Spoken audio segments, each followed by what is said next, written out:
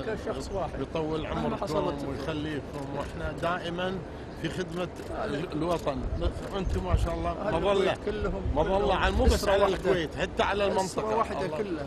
الله يحفظكم في من يريد ان يفرق بين ابد ما حد يقدر طال عمرك وجودك طول العمر انت والشيخ الله لا يحكم مكروه ان شاء الله شيخ بعد تفضل يلا فما الله فما الله الله طويل العمر